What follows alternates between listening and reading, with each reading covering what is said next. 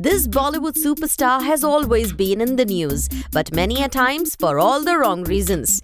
Over the years, he has developed a reputation of being controversy's favorite child in the industry.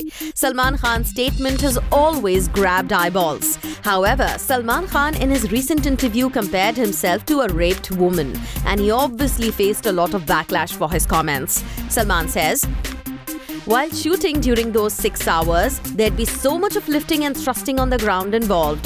That was tough for me because if I was lifting, I'd have to lift the same 120 kilo guy 10 times for 10 different angles. And likewise, get thrown that many times on the ground. This act is not repeated that many times in the real fights in the ring. When I used to walk out of the ring after the shoot, I used to feel like a raped woman.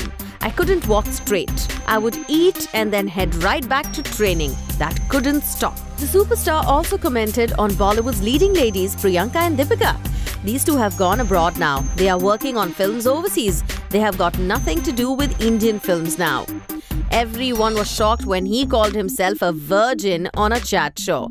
Recently, Salman made headlines when he fired his bodyguards as they leaked his personal details. Though Salman Khan has been part of so many controversies, still he enjoys an ever-growing fan base. For all the Garma Garam Bollywood gossip news and more, download the Zoom app now.